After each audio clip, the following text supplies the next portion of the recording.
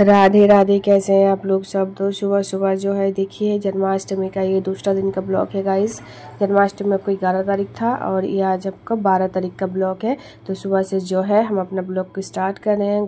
नहा धो के हम आ चुके हैं। अभी बज रहा है आठ कुछ साढ़े आठ, और उसके बाद गोपूजना सबको दूध का भोग लगाए, उसके बाद नहला धुला के पहले तैयार कर दिए, फिर आरती उतारे, और उसके बाद भोग लगाने के बाद हम आ गए थोड़ा सा बाहर, हमको कुछ काम था तो जहाँ हम कुछ मतलब सिलाई सीखने जाते हैं, वहाँ का सेंटर अभी बंद है तो इसीलिए अभी जो है फिर हम वापस घर आ गए, अब घर आके जो सब्ज़ी लेके बैठ चुके हैं, और देखते हैं सब्ज़ी में बहुत कुछ है तो क्या बनाएँ, कुछ समझ में नहीं आ रहा है तो देखिए क्या क्या बनाता है। तो यहाँ हम बैठ के आपका सब्ज़ी काट लें तो चलिए सब्ज़ी काट लेते उसके बाद देव का भी नहाना हो गया यहाँ पर हम बना रहे आपका बेगुनी।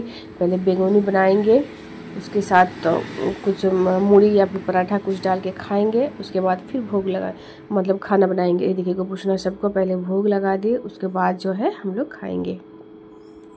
और उसके बाद मेरा देखिए खाना भी बन गया। यहाँ पर हम दाल बनाए थे कद्दू के साथ चावल सब्ज़ी और ये आलू का बोरा था।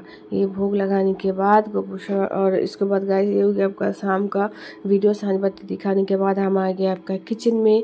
आ, फिर से मतलब रात को कुछ बनाना है। अब साँझ बत्ती हम दे दिए हैं। अब उसके बाद कुछ तो बनाना है। तो ये चीला जो है हम वही गाजर बीन्स मतलब जो भी सब्ज़ी था वो सारा चीज़ मिक्स करके एक चीला बना देते हैं ताकि सब्ज़ी जो है पेट में चला जाए देव का।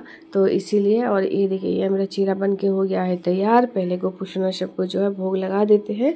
उसके बाद जो है हम लोग प्रसादी खाएँगे। और ये देखिए, भोग भी हम लोग लगा दिए हैं। तो आप लोग भी जो है भोग का दर्शन कर लीजिए। और हाँ गाइज़ प्लीज़ जब ब्लॉग देखिएगा तो एक लाइक तो ज़रूर कर दीजिएगा। और कमेंट भी कीजिएगा साथ ही साथ। नहीं तो कम से कम राधे राधे कमेंट करके तो लिखिए। और उसके बाद जो है, देखिए, गोपुष्णा को माले सुलिस करके सारा बच्चा को हम सुला दिए और देव भी सो गया कि उसका तबीयत थोड़ा सा ठीक नहीं है, सुरा